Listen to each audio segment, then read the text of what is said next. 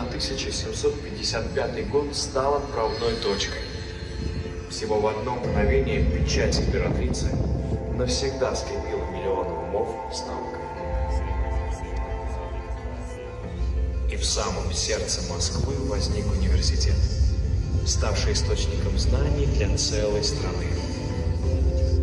Всеобщая популярность дала мощный импульс к безудержному росту, и вскоре МГУ переехал в новое здание. В мире происходят бедствия. Но природа не терпит хаос. Объединяя стихии, она возвращала им утерянное равновесие. А потом появилась новая сила — люди. Познавая мир, они часто нарушали хрупкую гармонию. И тогда мать природа призвала себе помощников, хранителей. В случае серьезной опасности именно они становились проводниками стихии. И все у них получалось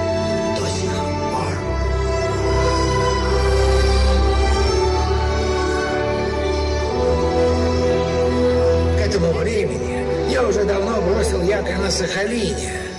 Тихая гавань, где все жили сытно и весело, как у кока на камбузе.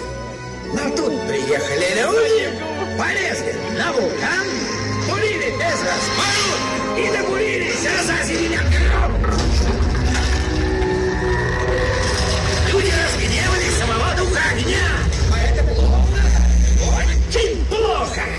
Пришлось сматывать удочки и прокладывать курс на запад.